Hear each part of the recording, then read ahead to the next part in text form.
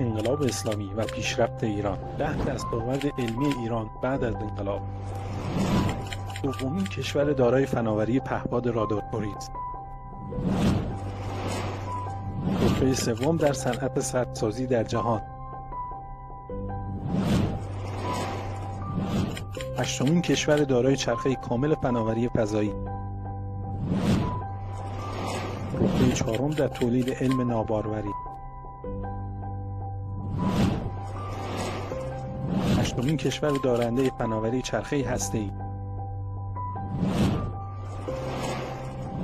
ششمین کشور تولید کننده زیردریایی. سومین کشور صاحب فناوری ساخت نیروگاه های خورشیدی. چهارمین کشور در تولید علم نانو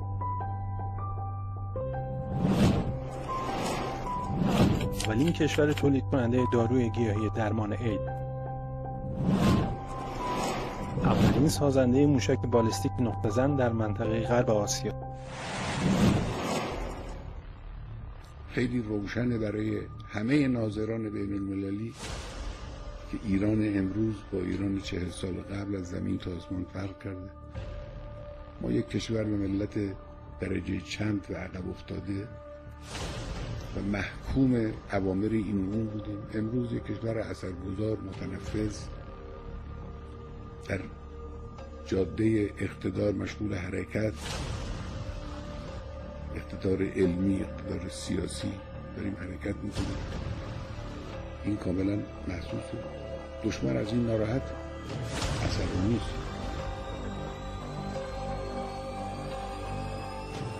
قول مرحوم آقای بهشتی عصبانی باش و از این عصبانیت بمیر.